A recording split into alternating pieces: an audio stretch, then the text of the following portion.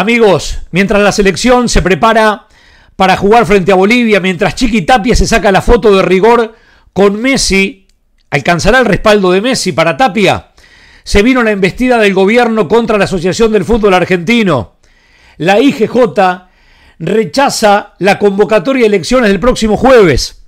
Esto es algo que se preveía a partir de la embestida de Fasi. Con Fasi yendo de avanzada, este Fasi que ha sido suspendido la semana pasada por dos años para ejercer la presidencia de Talleres representando a el fútbol profesional, la AFA o el Tribunal de Disciplina lo sanciona por encontrarlo culpable de intentar agredir a Andrés Merlos en aquel famoso partido de Talleres y Boca por la Copa Argentina. La IGJ es respaldada por el Ministerio de Justicia. Hoy es increíble cómo la política y el fútbol se mezclan todo el tiempo. Este dato lo tienen muy pocos, o pocos lo van a recordar. El actual ministro de Justicia, que es Mariano Cunio Libarona, fue el abogado que respaldó, asegura, y Tapia estaba en ese espacio, en el famoso 38 a 38 contra Tinelli. El abogado, insisto, estaba del otro lado, Tinelli se había nutrido de mm, juristas eh, y abogados eh, muy reconocibles, muy reconocidos, pero Gil Lavedra, recuerdo, del lado de Tinelli, pero Mariano Julio Rivarona, quien hoy le da aval a la IGJ, la IGJ, la Inspección General de Justicia, regula las asambleas en las instituciones como la AFA, eh, le da aval a esta decisión de la IGJ de declarar nulo o irregular el proceso que va a reelegir a Tapia por tercer mandato. Es muy parecido a lo que ocurrió en la pandemia en el gobierno anterior, donde se anticipa la elección. No entiendo los motivos por los cuales lo que debía mm, preverse para el próximo año, el mandato de Tapia, su segundo mandato concluye el próximo año, adelanta la elección para este y en el medio de la asamblea rige aquello que adelantamos por el 31 de julio y que tantos colegas y que el mismísimo Tapia mandó a desmentir con colegas afines y hasta con sus voceros eh, de esa información que rubricábamos y que de prosperar la asamblea y de tener validez la asamblea como en AFA creen, el jueves, el fútbol el próximo año se jugará con 30 equipos y no habrá descensos.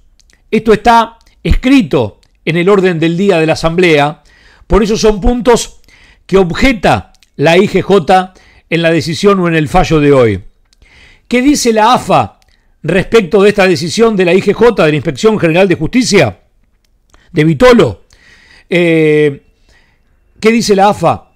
Que hay una medida cautelar de un juez de Mercedes que le dio lugar a la Asamblea y que esta medida cautelar tiene efectos suspensivos por sobre la decisión o el rechazo a la convocatoria asamblea de la IGJ.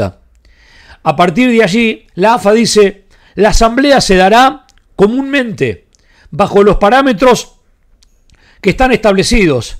Tendrá que mandar vedores la IGJ y será la justicia quien determine si esta asamblea que relige a Tapia, que propone un cambio de jurisdicción de la AFA, a Ezeiza, a la provincia de Buenos Aires, que propone el ejercicio de miembros del comité ejecutivo que pasan de cuatro a cinco periodos, eso también lo objeta la IGJ en su fallo, y que propone que haya en el próximo año 30 equipos en primera división. Y acá lo que ustedes quieren saber de lo deportivo, por si no vieron aquel video del 31 de julio, les cuento de qué se trata ese campeonato. Dos torneos, dos campeonatos en modelo de mm, Copa de Liga, de, zonas, eh, dos zonas de 15, eh, con partidos de definición directa para determinar a ambos campeones. Apertura, clausura, 30 equipos, no habrá fechas entre semana, seguramente habrá una fecha de clásicos, seguramente habrá una fecha de clásicos, hay interzonales porque naturalmente cuando hay 15 equipos uno queda libre y en esa ocasión van a mediar los, los intersonales o los clásicos. Eh, lo que ocurre como contra, que los equipos que pelean la permanencia, porque si en el 2025 habrá un descenso por tabla y un descenso por promedio, creen que son pocos 30 partidos para determinar, y lo son, 30 partidos para determinar quién descienda. Y los grandes, los que tienen clásicos de verdad, porque puede haber un internacional que, sea Sarmiento de Junín Tigre, y no impacta nada ese partido. Pero aquellos que tienen que jugar clásicos, Boca, River, Independiente, Racing, eh, juegan muy seguido y van a determinar en su temporada jugar con mucha continuidad los clásicos, con eh, los impactos, con los daños colaterales que tiene perder los clásicos. Entonces, eso está por definirse, lo de la fecha de clásicos o no. Y otra cosa que está por definirse es cómo se determina la clasificación desde la fase regular. Porque en principio los dos primeros de cada zona iban a jugar directamente en cuartos y ahora, aunque eso está, insisto, en el trazo fino de una regla que tiene como trazo grueso que no haya descensos, que jueguen 30 equipos en dos zonas de 15 a modelo de Copa de Liga, denominación apertura y clausura. Lo que está por regularse en esa clasificación es que habría, escuchen bien esto, que es novedoso, de los 15 clasificarían 12. Los cuatro primeros de cada zona directamente ingresan a jugar octavos de final. Del quinto al duodécimo, el sexto, el 5 con el 12, el sexto con el undécimo y así, el séptimo con el décimo, jugarían un 16 de final, partidos de ida y vuelta, definiéndose el partido revancha en el equipo, eh, en la cancha del equipo mejor posicionado. Por ejemplo, juegan el, el, quinto con el 12 y cierran en, después veremos si con ventaja deportiva o no, en la cancha del quinto. Ya desde octavos esperan los cuatro primeros, ya desde octavos, eh, los cruces con los ganadores, sí, en cancha neutral, con ambas hinchadas. ¿Qué te dicen aquellos que avalan este tipo de campeonato en la dirigencia del fútbol? Primero, que este tipo de partidos requieren de mayor interés porque tiene definición directa, porque hay penales, porque hay un ganador, hay uno que pasa, y eso genera que estén las dos hinchadas y que haya mayor rating. Otra cuestión por la cual justifican un torneo de 30 es que las plazas del interior se han desarrollado, han crecido, que el fútbol es mucho más federal en el país, que hay plazas en el interior mucho más potentes y que éstas merecen tener su predicamento en la primera división. Otro es que han crecido la cantidad de socios, que hoy Belgrano de Córdoba, por ejemplo, triplicó la cantidad de socios que tenía hace algunos años, lo mismo para los clubes grandes de la Argentina, Independiente llega a los 150.000, San Lorenzo está cerca de los 100.000, Boca y River superan los 300.000. Entonces, que ese fenómeno del fútbol que ha crecido, que se ha desarrollado, que se ha expandido, le debe dar posibilidades a todos. Quiero decirles que este formato de Copa de Liga generalmente perjudica a los grandes y generalmente le acorta los caminos a los chicos. Eh, Platense fue hasta hace muy poco finalista de una Copa de la Liga. Vélez y Estudiantes definieron la última Copa de la Liga. Central fue campeón en aquella definición con Platense. Colón de Santa Fe, que hoy está en la segunda categoría, fue campeón de ese formato de la Copa de la Liga.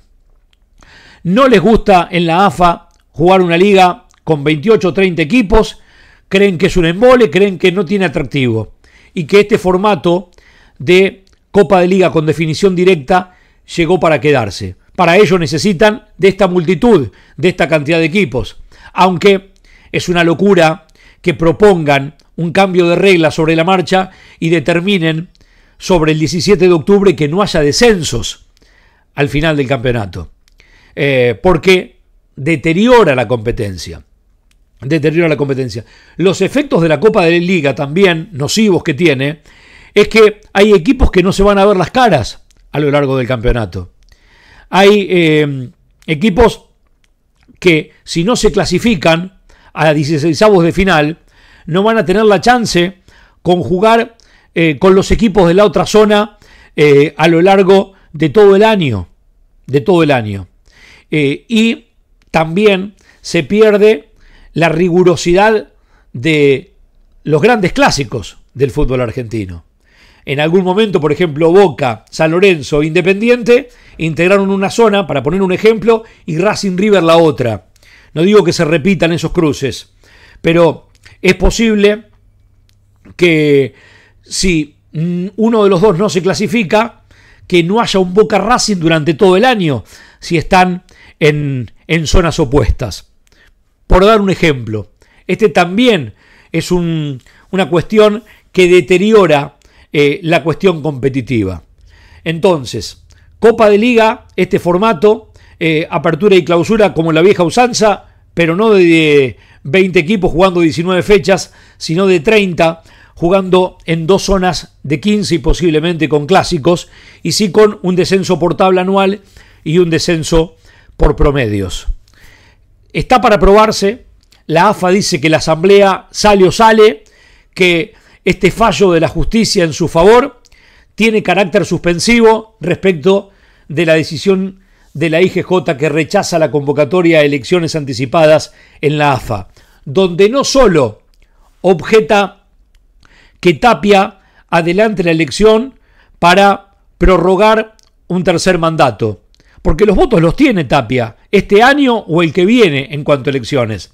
Esto tiene el trasfondo de un gobierno que como la AFA no le aprueba ni le incorpora el debate de las sociedades anónimas deportivas, reacciona con FASI, insisto, en la avanzada, que es eh, eh, la víctima para eh, el gobierno y uno de los enemigos del fútbol argentino o de esta asociación del fútbol argentino, con Fasi, con Scioli, con otros nombres o otros interlocutores que este gobierno tiene y con un fallo de la justicia, del Ministerio de Justicia, que tiene a Mariano Julio Olivarola, que insólitamente en 2015, en tiempos del 38 al 38, fue el abogado de Segura y del Chiquitapia, de ese espacio que empató con Tinelli la elección. Fútbol argentino, no trates de entenderlo. Y país también muy generoso porque la justicia, el poder, el fútbol en la Argentina tienen una relación más que estrecha. Les mando un abrazo, espero que lo hayan entendido y leo sus comentarios aquí abajo. La seguimos en cualquier momento en mi canal de YouTube.